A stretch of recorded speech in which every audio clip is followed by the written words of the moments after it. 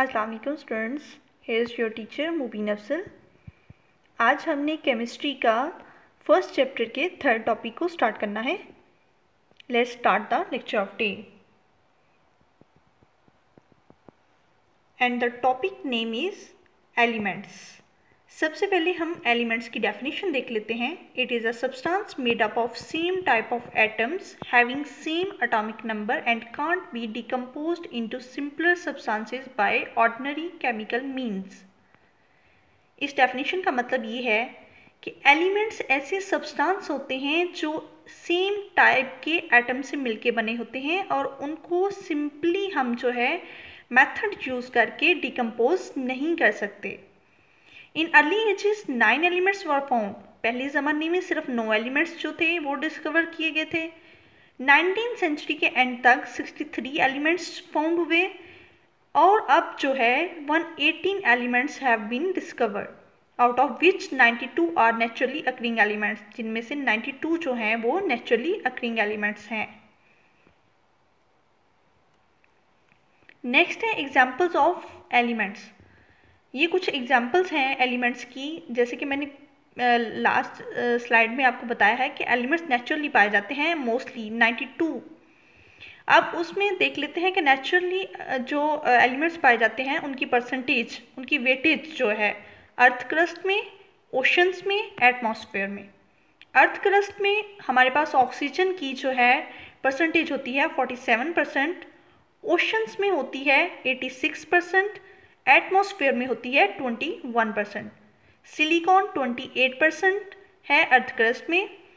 Options में जो है, हाइड्रोजन 11 परसेंट होता है, एटमॉस्फेयर में नाइट्रोजन 78 परसेंट। उसके बाद एल्यूमिनियम होता है अर्थ क्रस्ट में 7.8 percent. Chlorine 1.8 percent and argon 0.9 percent these are the examples of elements occurring in nature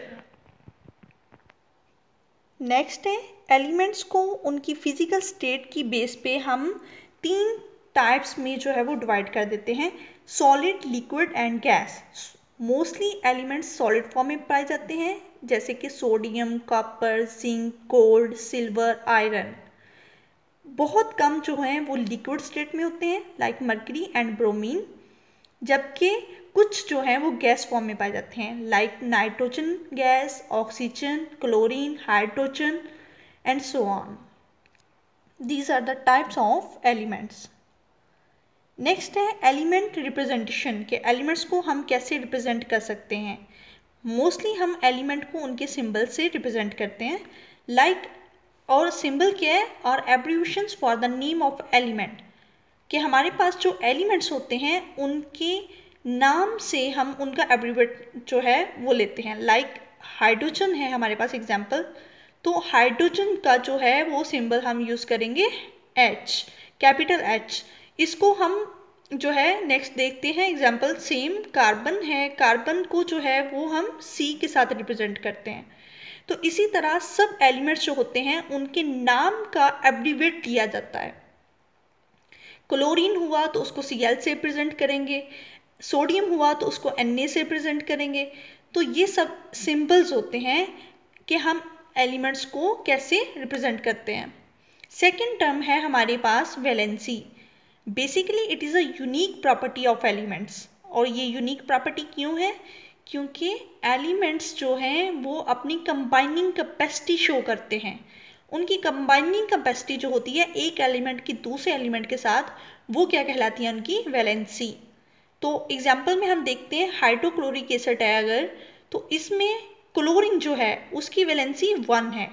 जबकि नीचे एग्ज़ाम्पल है वाटर मालिक्यूल की, उसमें ऑक्सीजन की वैलेंसी होती है टू तो डिफरेंट एलिमेंट्स की जो वैलेंसीज होती हैं, वो डिफरेंट होती हैं, और ये डिपेंड कर रहा होता है उनकी कंबाइनिंग कैपेसिटी पे। नेक्स्ट है आयनी कंपाउंड्स अब आपको ये मालूम है कि कंपाउंड्स कैसे मिलके बनते हैं। एक या एक से ज़्यादा एलिमेंट्स आपस में कंबाइन करके कंपाउंड्स बनाते हैं। आयनिक कंपाउंड है तो मतलब क्या है कि इसमें आयंस पाए जाते हैं। आयंस फॉर्मेशन होती है केटाइंस एंड एनाइंस दो तरह के हमारे पास आयंस होते हैं। केटाइंस कौन से होते हैं? जिन पे पॉजिटिव चार्ज होता है एनाइंस जिन पे नेगेटिव चार्ज होता है। अब केटाइंस कैसे बनते हैं? ऐसे एलिमेंट जिनके वेलेंस शेल में चार या चार से कम इलेक्ट्रॉन होंगे, वो अपना ऑक्टेट रूल मुकम्मल करने के लिए वो चार इलेक्ट्रॉन प्रेफर करेगा कि वो लूज़ करे।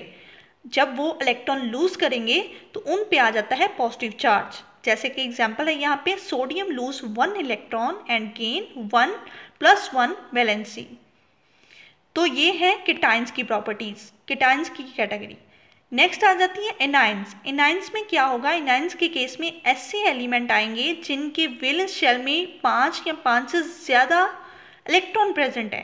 तो वो अपना ऑक्टेट रूल मुकम्मल करने के लिए क्या करेंगे? इलेक्ट्रॉन गेन करेंगे।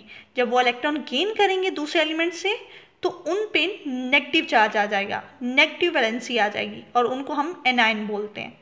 फॉर एग्ज़ाम्पल यहाँ पे है nitrogen has five electron in valence shell it gain three electron and get minus three valency